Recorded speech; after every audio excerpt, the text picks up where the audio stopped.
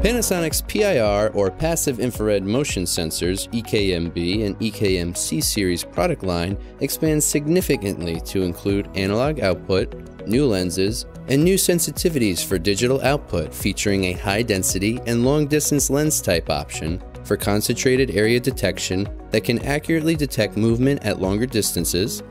a slight motion type with a wide detection area that can cover an entire room with one sensor and can pick up the smallest or slightest motions up to 2.5 meter distances, an analog output type which provides the highest level of control and flexibility, allowing the user to adjust sensitivity levels for custom applications,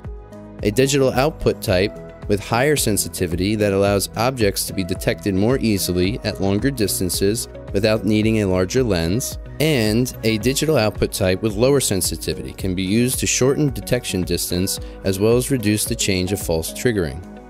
Some of the many features and benefits for Panasonic's PIR sensors EKMB and EKMC series include a wide variety of lenses and sensitivity types, ease of interchanging sensors without board redesigns since all of Panasonic PIR sensors use the same footprint,